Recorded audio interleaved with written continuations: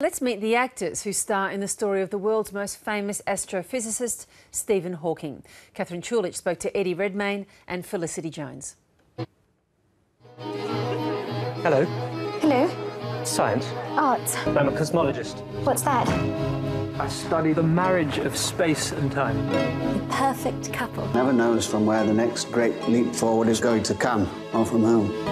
What if I reverse time to see what happened at the beginning of time itself? Playing Stephen Hawking is incredible role. Congratulations. Oh, thank you. Uh, but was it daunting when you said, "Okay, you've got to play Stephen Hawking"? It was properly full on wildly terrifying but um and, and normally when you get a job you you have a, a little moment of ecstasy and excitement and normally a few days later that that kind of you ha- you come to the reality that you actually have to do the thing and play the part.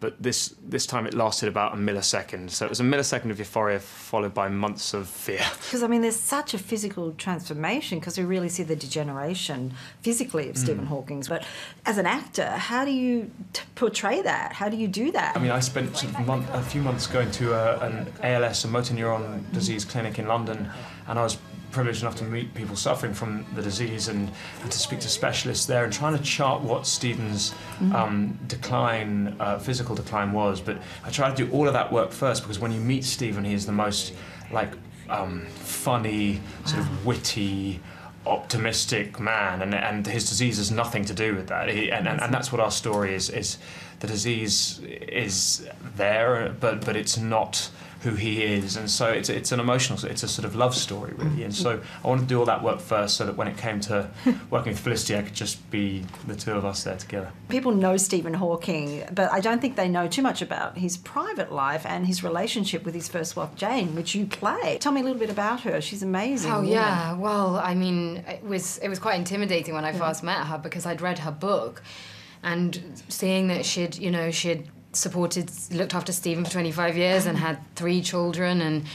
And um, I just thought this woman's phenomenal. So when I went to meet her, I was like, I should bow down to you. You know, you're a saint. This is this is um, I don't know how you did it.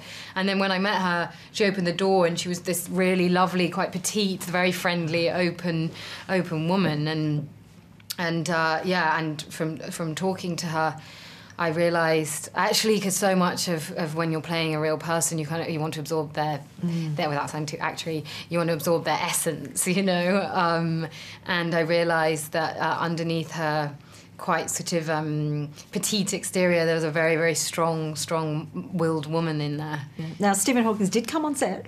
He tell Me, tell me what that was like. It's pretty intimidating to have uh, Stephen Hawking on one side. Um, you could, I could just see him out the corner of my eye, and then Jane Hawking on the other side. She, she was in one of the scenes. It was the, the early scene, the ball scene. It was a pretty surreal moment to have the, the people you're playing right on set with you. He was a little cheeky, right? he, yeah, he's, he's Stephen's got such charisma. He's really.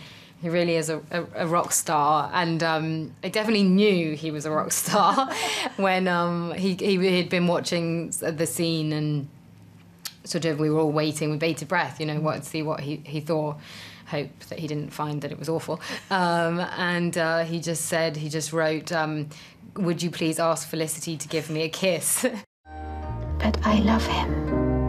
And he loves me. Going to fight this illness together.